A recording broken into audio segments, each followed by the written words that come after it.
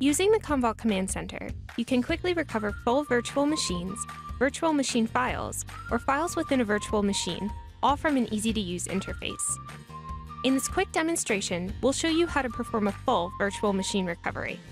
From the Commvault Command Center, choose Solutions, then Virtualization.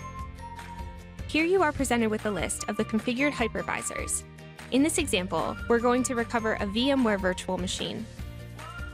Click on the Actions button next to VMware vCenter and select Restore.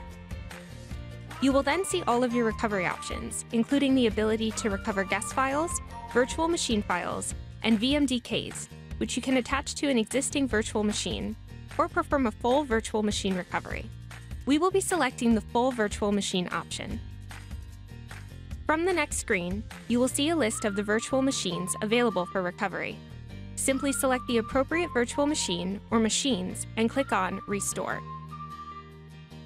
You have some restore options, such as whether this is an in-place restore or what access node will perform the recovery.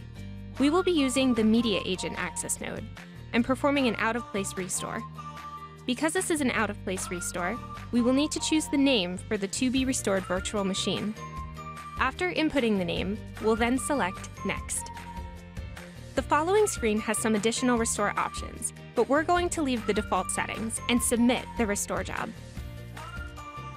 Once the restore is submitted, you can quickly view the progress by clicking on View Jobs. You can also see any events that are associated with the job in the Events section. Here's one now. It looks like the job completed successfully and our virtual machine is recovered. And that's it!